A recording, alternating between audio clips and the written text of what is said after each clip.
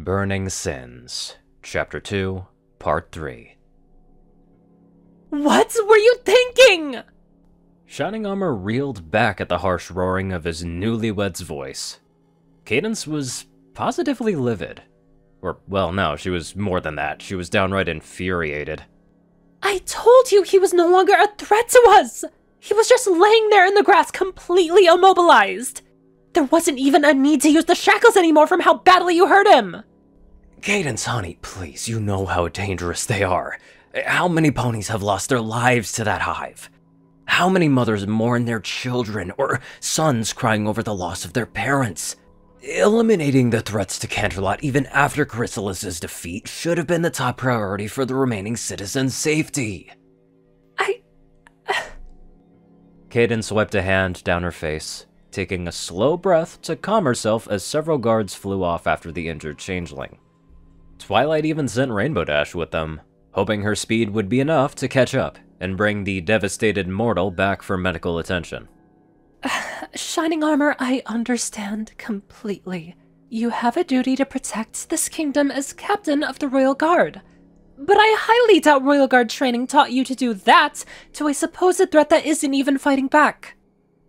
despite everything, we need to take him into custody for interrogation. What would happen if there are more like him sulking about Canterlot right now? We could have gathered extremely important intelligence not only on them, but on the Changeling Hive altogether. She gave him a heated glare as she pointed to her head. Think, Shiny, think! Now with your assault on the Changeling, we'll have to expand resources to keep it alive. Medical equipment and medicine we should be using on the brave soldiers and guards who participated in the skirmish on the streets. Shining Armor remained silent, opening his mouth to say something, only for it to close when he had nothing to review that. Cadence was right. Shining Armor had taken it one step too far and did more harm than good. He knew he wasn't okay, he wasn't right, but at this point, he could and couldn't blame himself. The experiences he went through had taken their toll. And while the after party settled his nerves slightly, seeing this new changeling put him in red alert. That alone forced him out of his right mind. Closing his eyes and looking away in shame, Cadance's stern glare melted into concern and pity. Maybe we should get you looked at. The castle psychiatrist can help you get checked out. I doubt you'll be returning to your duties after tonight anyways. Both of them glanced towards the royal sisters, the elder solar monarch looking off in the direction the changeling was shot to, and worry while the younger lunar princess was giving him a look of disappointment. No. No, Shining Armor was indeed not going back on duty anytime soon. And that was evident when the guards in Rainbow Dash returned without the changeling. Princess Celestia closed her eyes, as Luna widened hers. They both shared some odd sense of discomfort as they dismissed the guards, and ordered a few to escort Cadance and Shining Armor back inside. As they went, Shining Armor looked back at the hole in the wall, taking a breath to steady himself as he marched with his fellow guards. His wife stayed by his side, wrapping an arm around his and keeping close to comfort him. As much trouble as he was in, he needed some pony to stay at his side, and Cadance wasn't going to leave him. Not now. And not ever again. Princess Luna watched the crowd disperse, a large chunk of them staying near the damaged captain as they returned to the interior walls of the castle. Still giving him a harsh stare, the Princess of the Night had already begun calculating various punishments for his disrespect and clear disobedience to their orders. Such a fool. To go out of his way to strike down a defenseless sun pony, even if they are one with the enemy. Celestia remained still, looking off in the same direction as she kept her eyes closed. The fault is not on his, Luna. The events of the last few days had taken an extreme toll on every pony. He alone shouldered the greatest pain that came from the changeling's seduction. Luna shook her head as she took her place beside her sibling. Even so, sister, he should have exercised a modicum of restraint. Executing a small brand of guardsman brutality is one thing, but brazenly disobeying direct orders from one high is a grievous crime. I will be lenient. Besides, we have more pressing things to worry about. Luna glanced up at Celestia, then narrowed her eyes as she stared at the hole in the outer wall. Ah, yes. Of all the threats Equestria has seen, I never expected to see this one again. Celestia opened her eyes, her gaze filled with disdain. A creature made of violence and endurance. A survivor with cunning intelligence and adaptability replacing strength, speed, and magic. A human. Both sisters let that name sink in. A human. This name belongs to creatures much like themselves. They're sapient beings who have built whole civilizations in the past generations ponies have been around.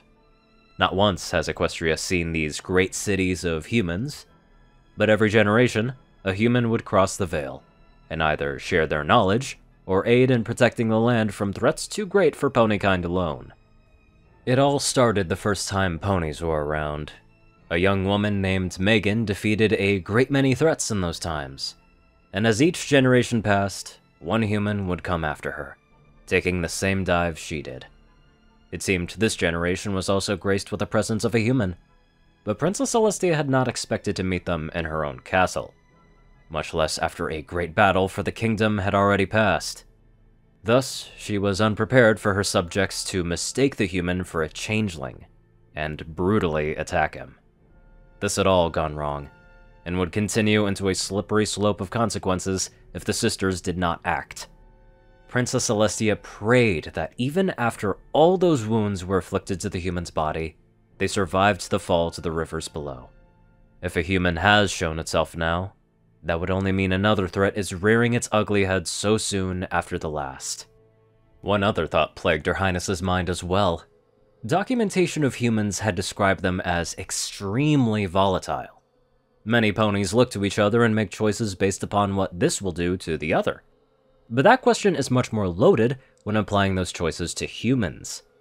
They're not just friends in the making with emotions and beliefs of their own, but they're also a major threat if not handled properly.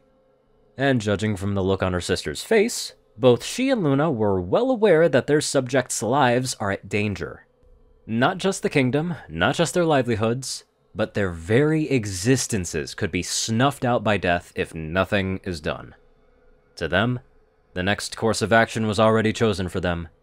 They needed to find the human, or what remains of him. Alive or dead, in their arms, they would find relief in ensuring that they can't hurt anyone. Though they would very much prefer alive, as Ponykind has to make amends for a horrendous wrong they've done them tonight. Rain beat down on Nathan's body like bullets, hitting him like hail and stinging him like needles. The young man was battered and broken, yet alive. His consciousness had faded in a slumber, and his exposed injuries were soggy and mudded. It was no secret that surviving the ordeal he did was nothing short of a miracle. By all means, he should be dead. Here he is, still bleeding out on the bank of a river, yet he still lives despite the amount of blood he lost and the grotesque maiming of his body. His chest heaved shallow or painfully long breaths, keeping air flowing through him as a wagon was pulling up on a dirt path not far off from the stream. A soft voice gasped as the wagon came to a stop, the wooden basket left behind momentarily while footsteps rushed towards him. Murmurs between the figure and another was indistinguishable in the heavy rain, but one was noticeably soft, and the other monotonous. We can't just leave him out here, he could die. We don't have the medical supplies to help him.